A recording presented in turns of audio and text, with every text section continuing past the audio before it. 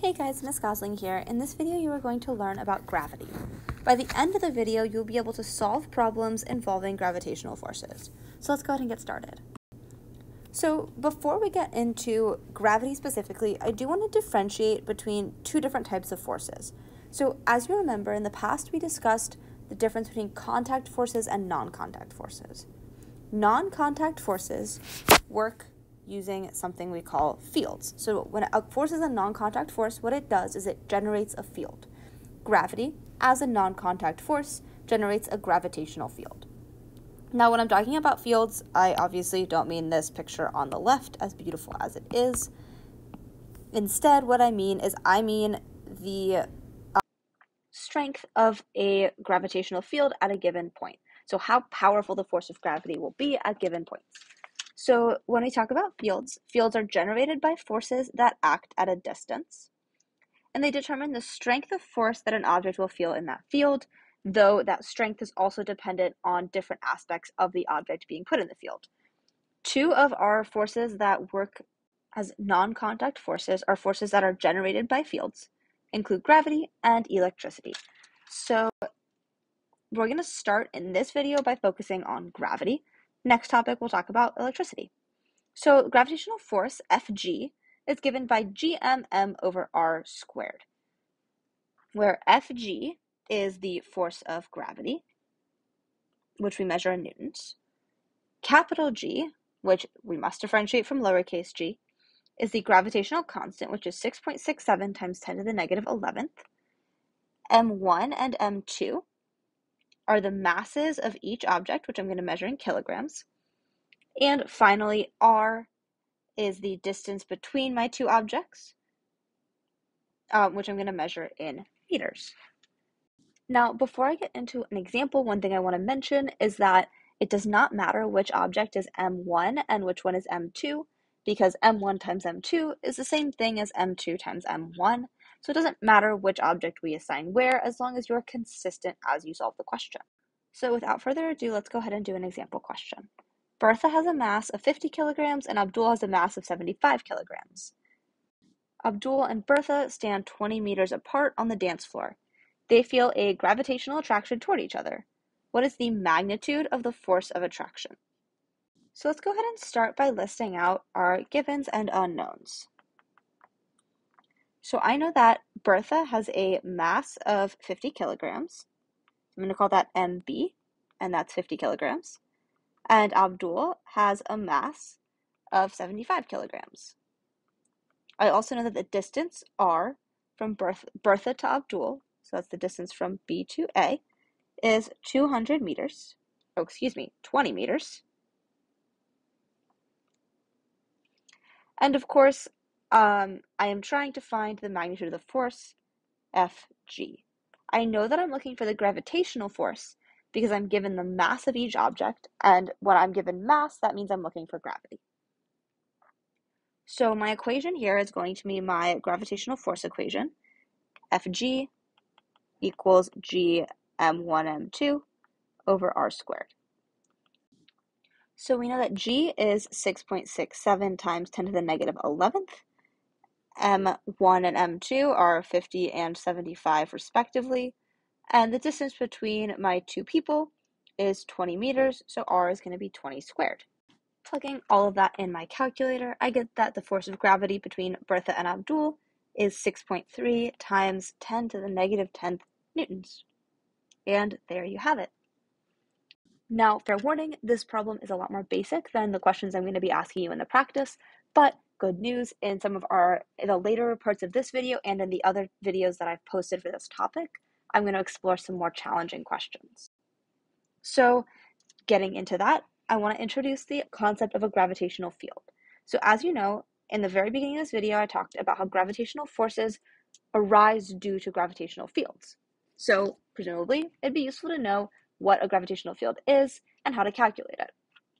So, for gravitational fields, we define the gravitational field strength G, which is measured in newtons per kilogram, as the gravitational constant G, which is 6.67 times 10 to the negative 11th, times the mass of the object generating the field, which we use capital M to represent, divided by the distance from the object generating the field squared, which again, we're going to measure that distance r in meters.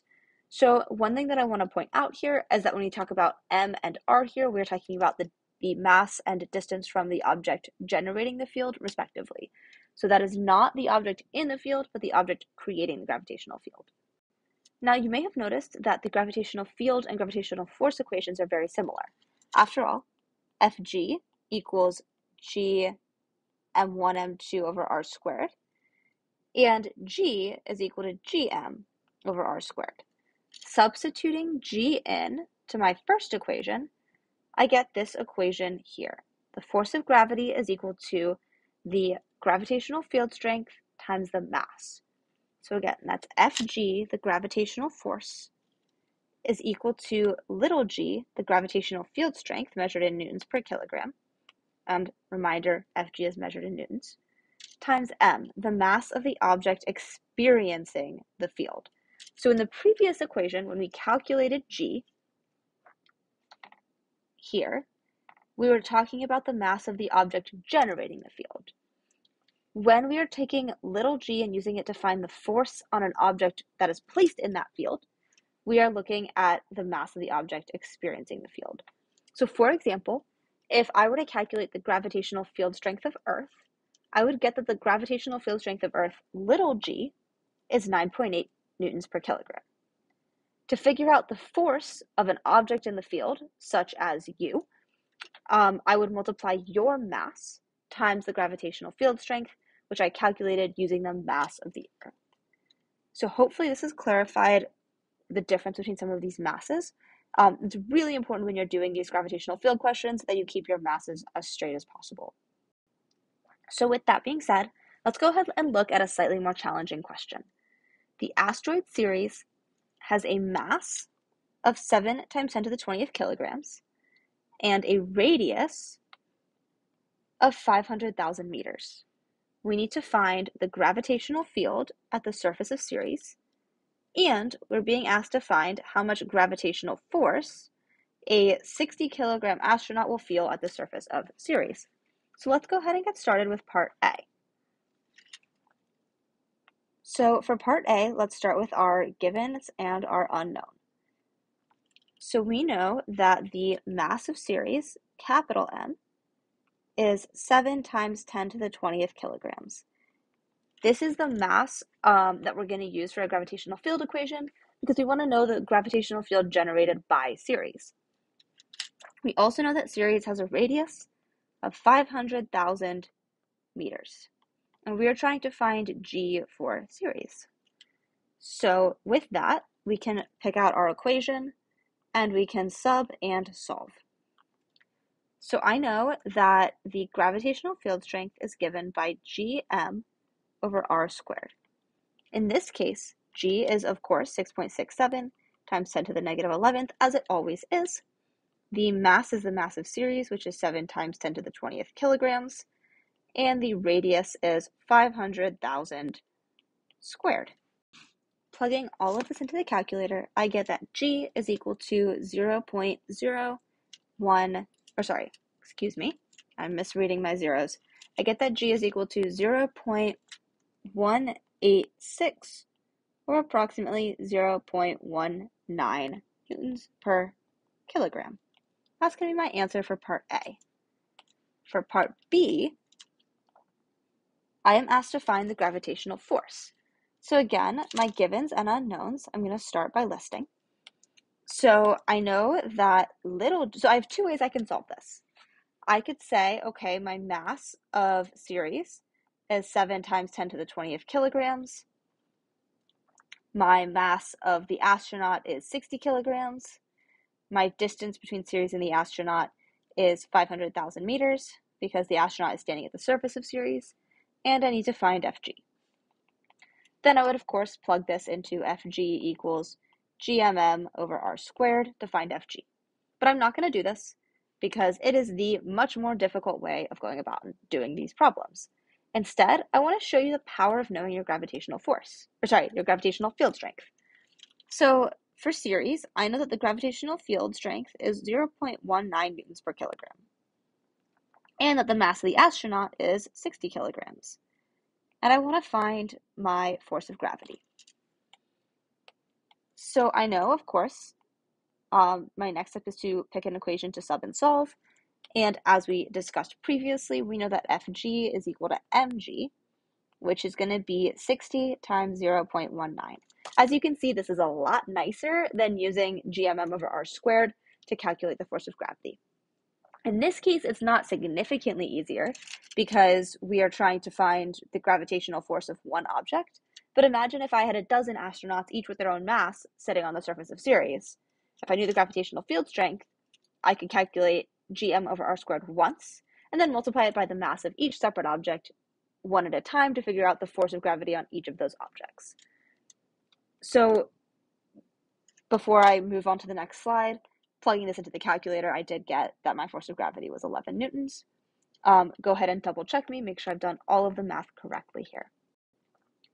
So before I finish off, I do want to do one more question.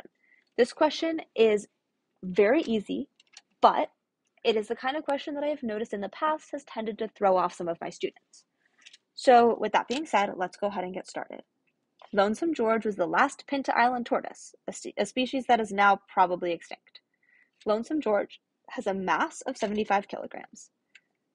The gravitational field strength on Jupiter is 25 newtons per kilogram.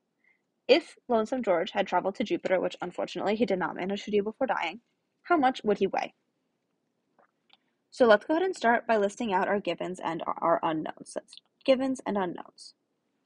I know that the mass of Lonely George is 75 kilograms, and I know that the gravitational field strength of Jupiter is 25 newtons per kilogram. Let me go ahead and write that a little bit more neatly. see, 25 newtons per kilogram. And I want to know what is the force of gravity on Lonesome George. So here, my equation, I think, is almost too straightforward. So my equation here is Fg is equal to mg, or my force of gravity is equal to 75 times 25. Throwing that in my calculator, I get the force of gravity on Lonesome George, if we were to go to Jupiter, would be 1,875 newtons, or if we are being proper with our sig figs, 1,900 newtons. Now, the reason that this question can be tricky, first of all, I think that in my experience, many students have the urge to overcomplicate and pick the uglier equation instead of the easier equation. And secondly, you have to know that when I say weigh, I mean find the force of gravity. So you need to be able to recognize that weight and the force of gravity are synonyms in this class. So with that being said, let's go ahead and talk about our takeaways. The gravitational force is given by, uh, by force of gravity is equal to gmm over r squared. Massive objects, which is any object with mass, generate gravitational fields which are given with strength g equals gm over r squared. And if we know gravitational field strength and the mass of an object in said field, we can use Fg equals mg to calculate the gravitational force on the object. So there you have it, guys. This is your introduction to gravity. Please make sure you watch the other videos as well because they go into gravity with a bit more depth and, a, and cover some more difficult scenarios. So with that, best of luck and happy solving.